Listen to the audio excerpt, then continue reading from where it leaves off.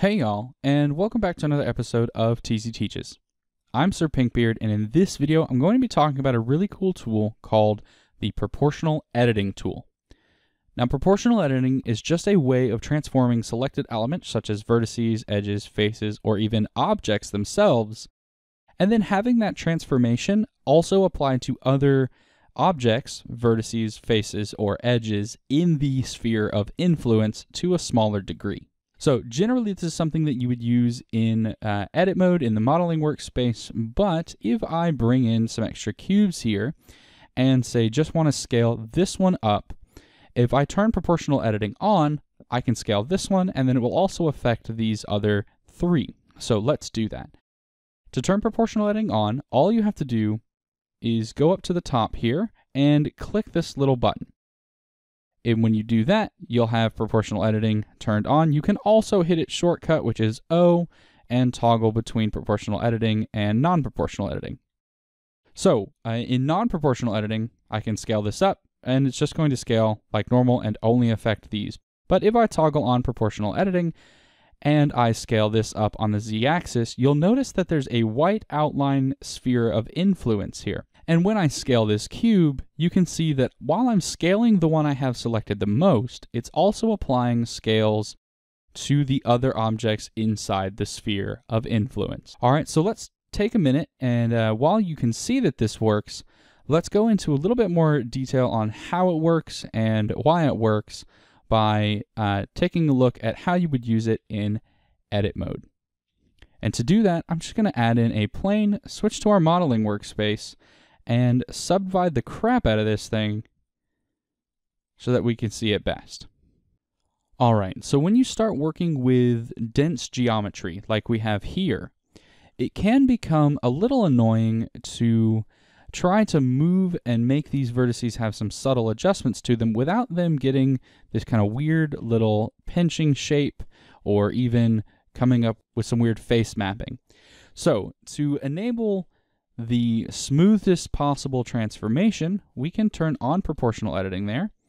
And we'll just turn it on. We'll click the drop down, hit enable, and then I'll move this again. And you can see right now that it's moving the entire uh, thing that we have selected. The reason it's doing that is because our sphere of influence is ridiculously large.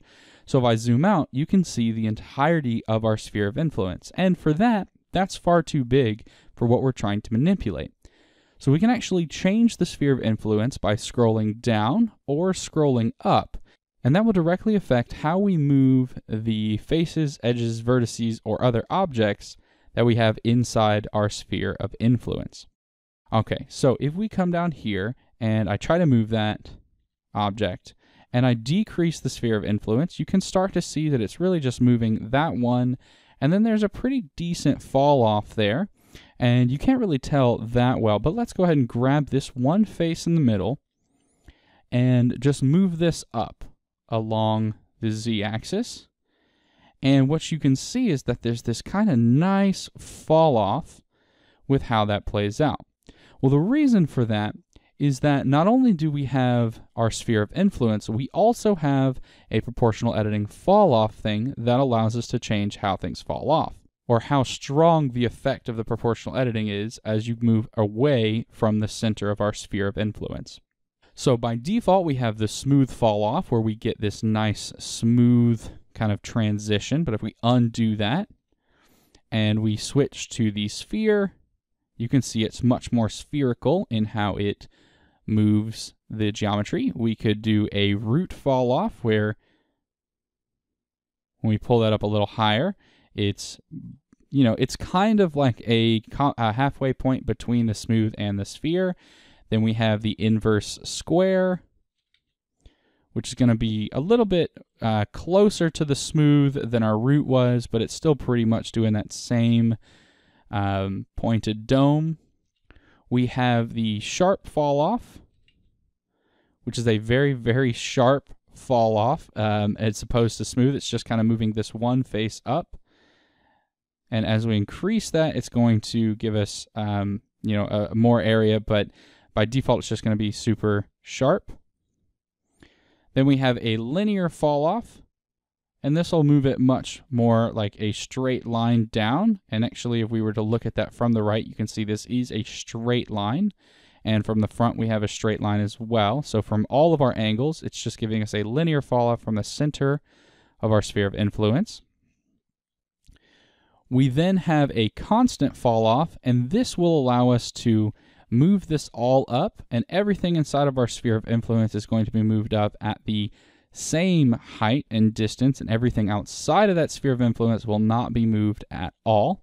That's kind of fun uh, to play around with, but you can see that. And then we have a random fall off, which just says, hey, we're going to pull this up, and uh, I want you to randomly move other vertices, edges, and faces around in there. And I could I could see how that would be really fun if you were trying to make a more realistic terrain object or what have you. Um, but this has very limited and specific uses. So generally, I think you would use the smooth fall off or maybe one of the other ones. And I think the further you go down, the less likely you are to use that fall off.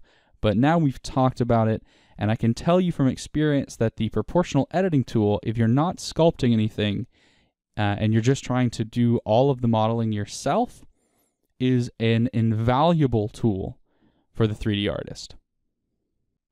All right, before we go, there's one last thing I want to talk about, and it's the different methods of proportional editing. So we already know that we can toggle, disable, and enable by simply hitting the O key or coming up here and turning it on or off. But there are two other options for proportional editing, and let's talk about them. So first, projected 2D. Well, projected 2D will actually allow you to move uh, elements without worrying about depth of view. All right, so if we were to look at this from the right orthographic view, and I were to move this up, because we have projected 2D on, it doesn't care about the depth of field.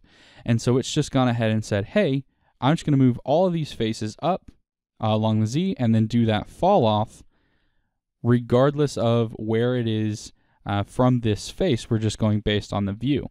The downside of this is if you're not doing an orthographic view, um, it does play a little bit uh, a little bit weirdly. So if you're going to use the projected 2D, make sure you're in an orthographic view to get those best results. And then we have the connected proportional editing option. Now the connected proportional editing option allows you to move faces um, only that are that are connected. So elements that are only connected together. Now, the connected proportional editing mode only allows you to uh, manipulate things that are connected. So, for example, if I were to delete this row of faces here, and I have the normal one turned on, if I were to then grab this face and move it up, you can see that not only is what I have selected moving up, but also everything inside the sphere of influence. If we turn it on to connected only, and I move it up, only the objects that are connected to what we currently have selected will be moved. And this is really important and kind of cool because let's say you're working on a character's fingers and you want to manipulate one character's fingers or vertices on one finger without affecting anything else. You can actually like deconnect them and then just play around with the ones on that particular finger without worrying about changing any of the other vertices around any other finger. So that's a really cool thing, and that brings us to the end of our proportional editing video. Alright y'all, if you've made it to this point in the video, I'll take it that you liked it, and that's awesome. If you wouldn't mind though, hit that like button to let me know that I did a good job with this, and if you want to keep learning Blender with us, hit the subscribe and ring the bell to get notified when we drop a new video. Thanks for watching, I'm Sir Pinkbeard, and I will see you in the next video.